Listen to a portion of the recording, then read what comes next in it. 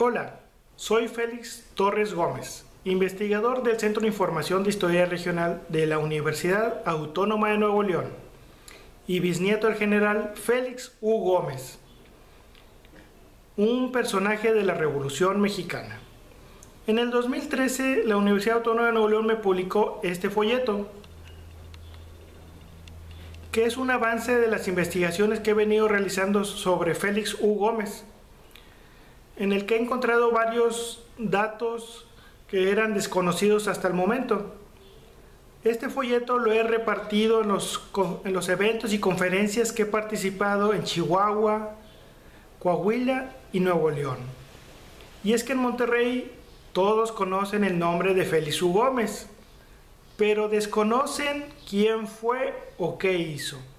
Pues les cuento, en 1916 la prensa lo llamó el héroe del Carrizal por haber defendido a México de la invasión norteamericana de la expedición punitiva. Cinco mil personas despidieron su cuerpo en la ciudad de Saltillo antes de ser enterrado. Muchas ciudades de nuestro país, sean pequeñas o las grandes, tienen alguna calle que lleva su nombre, como es el caso de Monterrey. Y en 1938 el gobierno de Lázaro Cárdenas le otorgó la condecoración al valor heroico de primera clase por haber muerto en defensa de México. Félix U. Gómez fue muerto por balas norteamericanas en la batalla del Carrizal, Chihuahua, esta sería el último enfrentamiento contra un ejército invasor de nuestro territorio.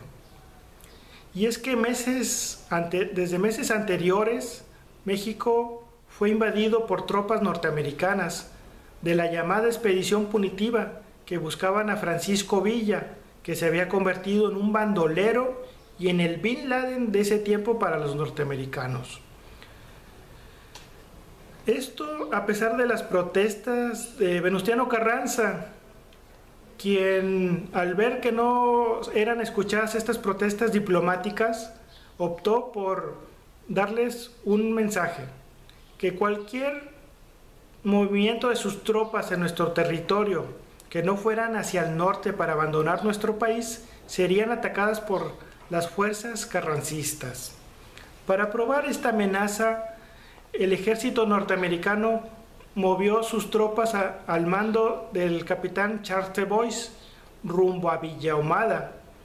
Pero como 15 kilómetros antes, en el poblado del Carrizal, se toparon con la brigada Canales, al mando del general Félix U. Gómez, quien les hizo un alto y no les permitió el paso. Este enfrentamiento fue inevitable a pesar de las de los esfuerzos de Félix U. Gómez por evitar el conflicto. Pero es que el terco capitán Charles de Boyce tenía toda la intención de enfrentarse si a villistas o a carrancistas. Esto para hacer historia, según lo que contó a sus, a sus soldados antes de llegar al Carrizal. También les dijo que cada soldado norteamericano valía por 10 mexicanos. Así, así que si había un enfrentamiento, los mexicanos correrían. Pero esto no fue así y en el Carrizal, Charles de Boyce encontró la muerte y la derrota de su ejército. Si quieren conocer más sobre esta historia, sobre este personaje, en la página de Facebook de la Hacienda San Pedro Celso Garza Guajardo de la Universidad Autónoma de Nuevo León estará el texto de este folleto. Muchas gracias y hasta luego.